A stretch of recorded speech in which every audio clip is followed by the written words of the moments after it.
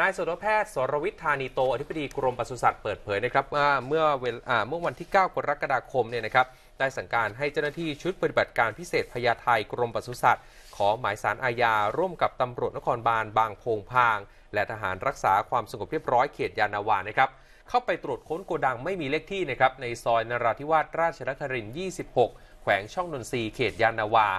บว่าที่นี่เนี่ยมีห้องเย็นนะครับอยู่ภายในโกดัง เพื่อเก็บรวบรวมซากหมูเล็กแช่แข็งที่ไม่ทราบแหล่งที่มา แล้วลักลอบขนย้ายใส่รถยนต์ เพื่อที่จะเตรียมส่งขายให้กับร้านอาหารที่มีชื่อเสียงในพื้นที่ของกรุงเทพมหานครเนี่ยนะครับ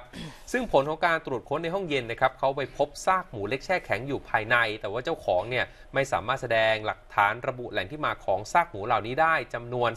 366 ซากประเมินเป็นมูลค่าเนี่ยกว่า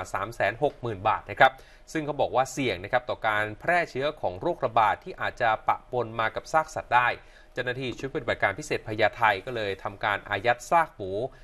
362 ตัว แล้วก็เก็บตัวอย่างซากหมู 4 ตัวเนี่ยไปส่งตรวจยังห้องปฏิบัติการนะครับ เพื่อทำการตรวจสอบแหล่งที่มาให้แน่ชัด รวมถึงตรวจพิสูจน์เรื่องของเชื้อโรคปนเปื้อนต่าง แล้วก็ได้มีการแจ้งข้อหานะครับในการกระทำความผิด 3 มาตราด้วยกัน มีโทษปรับตั้งแต่ 20,000 ถึง 1 0 0 0 0 0 บาทจำคุกไม่เกิน 1 ปี หรือว่าทั้งจำทั้งปรับนะครับและหาก